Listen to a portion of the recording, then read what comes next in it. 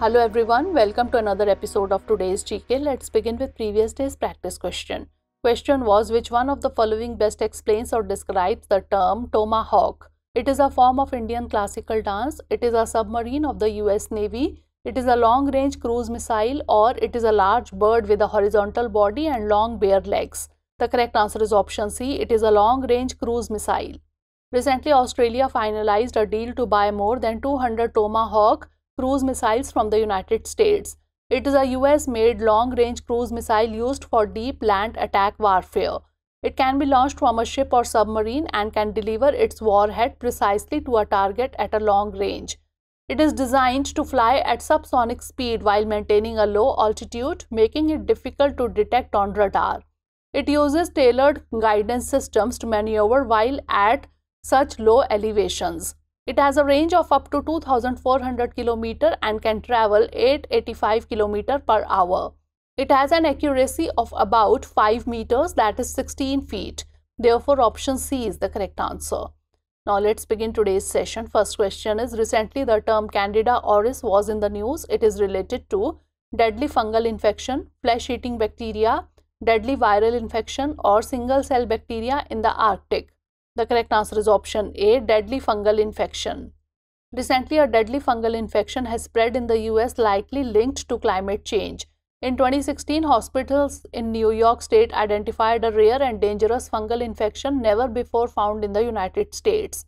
In 2021, the state recorded the most confirmed cases in the country year after year.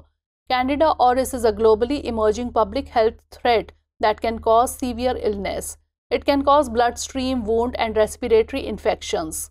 Last year, most cases were found in Nevada and California, but the fungus was identified clinically in patients in 29 states. Therefore, option A is the correct answer. Next question is consider the following statements regarding Andhra Mahabharatam.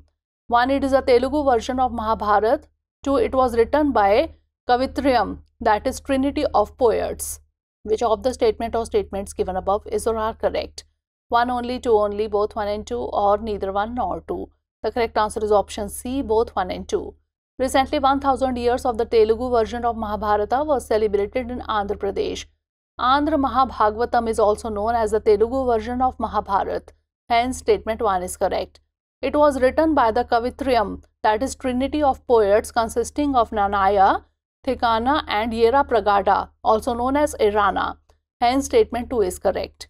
The three poets translated the Mahabharata from Sanskrit into Telugu over the period of the 11th to 14th centuries CE. These three poets wrote Andhra Mahabharatam in Telugu literature style but keeping the same exact essence as that of Sanskrit Mahabharatam. Therefore, option C is the correct answer. Next question is consider the following statements regarding Artemis 2. 1. Artemis 2 is the first scheduled flight of the Artemis program. 2. It will be the first crewed Artemis mission. Which of the statement or statements given above is or are correct? 1 only, 2 only, both 1 and 2 or neither 1 nor 2. The correct answer is option B, 2 only. Recently, the National Aeronautics and Space Administration announced that it moved the mobile launch tower for the crewed Artemis 2 mission to launch pad 39B of the Kennedy Space Center in Florida. Artemis 2 is the second scheduled flight of the Artemis program. Hence, statement 1 is not correct. It will be the first crewed Artemis mission. During the mission, four astronauts will fly around the moon before returning to the Earth. Hence, statement 2 is correct. Artemis 2 will use the huge space launch system Mega Rocket and Orion spacecraft to launch the crew on the lunar flyby mission. The astronauts and mission controllers will collect data on Orion and the crew's performance to assess how ready the Artemis program is to send people to the moon's surface. Therefore, option B is the correct answer. Next question is consider the following statements regarding AI generated art. 1. The earliest iterations of the AI art appeared in 1996. 2. Portrait of George Bush II was the first AI generated art on auction. Which of the statement or statements given above is or are correct? 1 only, 2 only, both 1 and 2 or neither 1 nor 2. The correct answer is option D, neither 1 nor 2. That is, both the statements are incorrect. Recently, a US court in Washington, D.C. announced that a work of art created by artificial intelligence without any human input cannot be copyrighted under US law. The earliest iterations of AI art appeared in the late 1960s with the first notable system appearing in 1973 with the debut of Aaron developed by Harold Cohen. The Aaron system was an AI assistant that used a symbolic AI approach to help Cohen create black and white art drawings. Hence, statement 1 is not correct. Edmond de Bellamy from La Famille de Bellamy was the first ever work original work of art created using artificial intelligence to come to auction. Hence, statement 2 is not correct. The portrait was created using generative adversarial networks or GANs. The distorted portrait by the French art collective Obvious was marketed by Christie's as the first portrait generated by an algorithm to come up for auction. It was sold for $432,500. Therefore, option D is the correct answer. Next question is recently the term methylo-2V microbiome bruyantense 5GB1C was in the news. It is related to nitrogen fixating bacteria, methane consuming bacteria, oxygen producing bacteria or single cell bacteria in the Arctic. The correct answer is option B, methane consuming bacteria. Recently, the researchers said that a strain of bacteria could potentially remove methane from major emission sites such as landfills, paddy fields, and oil and gas wells. Harnessing this bacterium on a large scale can keep 240 million tons of methane from reaching the atmosphere by 2050. It performs best at 500 parts per million ppm. Further tests also showed that this strain grew well even at 200 ppm. It consumes methane which is over 85 times more potent than carbon dioxide on a 20-year time scale.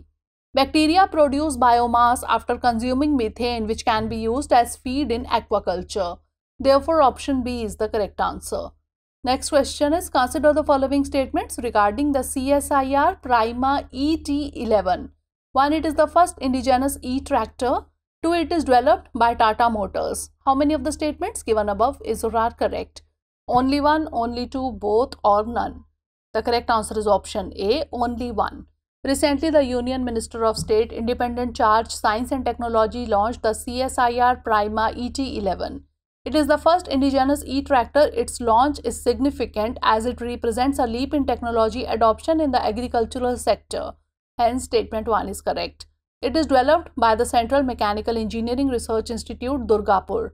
Hence, statement 2 is not correct. Therefore, option A is the correct answer. Next question is in the context of Indian biodiversity, what is the IUCN status of the palm cockatoo? Endangered, near threatened, vulnerable or least concern? The correct answer is option D, least concern. Recently, six palm cockatoos or black cockatoos were rescued from Assam's Cachar district. It is also known as the Goliath cockatoo or great black cockatoo and is a large smoky grey or black parrot of the cockatoo family. IUCN status of the palm cockatoo is least concern. It has a very large black beak and prominent red cheek patches. It is native to New Guinea, the Aru Islands and the Cape York Peninsula. They occur in rainforests such as Gallery forest, forest edges, eucalypt and paperbark woodlands, monsoon woodlands, dense savannas and partly cleared areas. Therefore, option D is the correct answer.